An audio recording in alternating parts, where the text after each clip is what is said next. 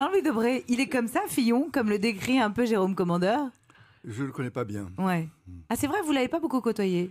C'est pas. Non. non, non, c'est pas mon ma tasse de thé. Mais il est assez taiseux, il faut le dire. Hein, il Même est assez taiseux, il me il me surprend. Juste une chose, il est candidat. Comment est-ce qu'on peut être candidat contre Sarkozy alors que pendant cinq ans On a été son été Premier ministre. et on n'a jamais rien dit?